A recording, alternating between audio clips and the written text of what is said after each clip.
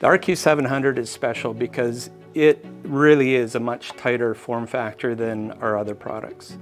And it has features in it that are really meant for today's requirements being on board uh, a piece of equipment. We have high shock, high vibe environments, hot environments, dusty, and then on the technology side, you have a whole host of battery technologies, whether it's lead acid batteries or lithium batteries, and they all behave a little bit differently.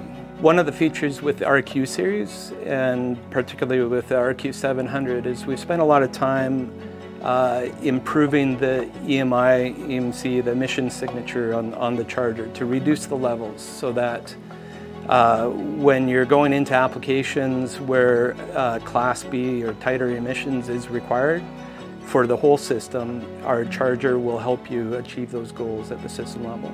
If you want to learn more, click on the RQ series on our webpage.